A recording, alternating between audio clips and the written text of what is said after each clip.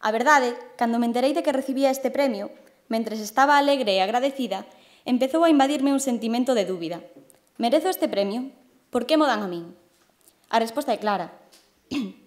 Pola miña nota, por un número, por unhas décimas. Matemáticas, normal que as odiedes. Que injusto que este premio sexa solo para min.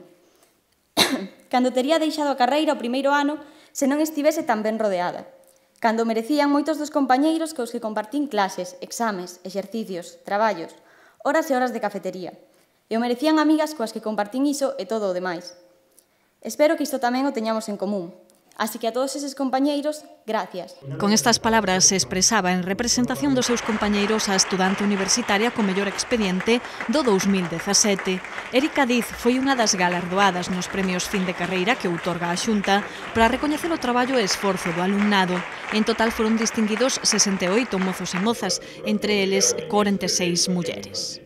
E hai que decir ademais que pois un dos mellores eh, expedientes pois de alguna maneira racha un pouco esa fenda de xénero, xa que pois unha muller, unha estudante e ademais dunha carreira eh, científica porque é unha estudante de, de matemáticas, non?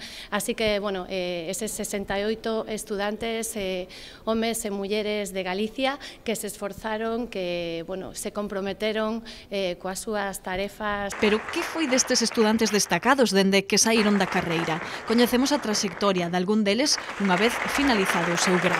Estou, a, finalicei agora en febreiro un máster en xerontoloxía na USC e ao mesmo tempo compatibilicei cunha bolsa da Deputación como traballadora social en administración local. Pois estou facendo o máster en enxeñería industrial e o máster habilitante como ingeniero industrial e posiblemente planteome facer o doutorado. Desde que terminé estoy trabajando en el mismo hospital y preparando las oposiciones a la vez.